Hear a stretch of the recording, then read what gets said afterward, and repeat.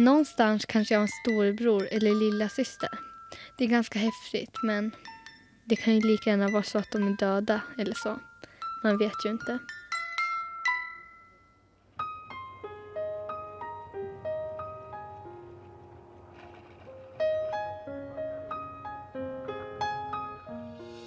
För länge sedan bodde jag i Kina på ett barnhem. Men för tio år sedan kom mina föräldrar och hämtade mig. Nu bor jag i Sundsvall och går i femman.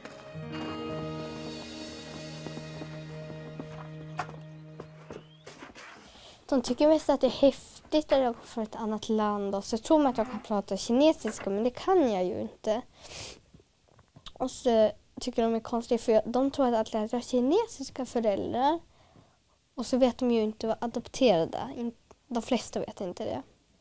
Får man berätta åtta och säger de oj, vet jag, har inte du riktiga föräldrar? Vad konstigt. Är inte det hemskt att ha det?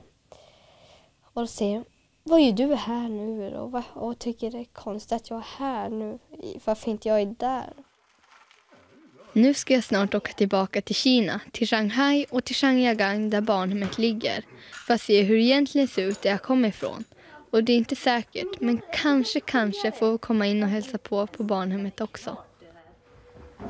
Ta det här nu och så tar Märta den här sist. Ja men nu, du har ju ätit ett halvt äpple. Och det, här... det här är min lilla syster Märta. Hon är född på ett annat ställe i Kina.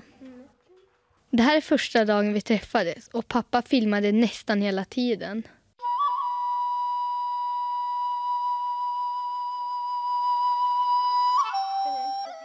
Samma dag som jag och Nanna fick nya föräldrar för tio år sedan fick också Alice, Linnea och Mimmi nya familjer. Vi bodde alla fyra på samma barnhem och vi har massa gemensamt.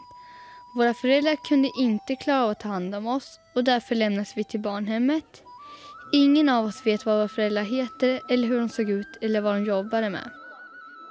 Nu ska vi åka tillbaka till en plats där vi kom ifrån och fast vi bor i olika delar av Sverige så har vi bestämt att åka dit tillsammans.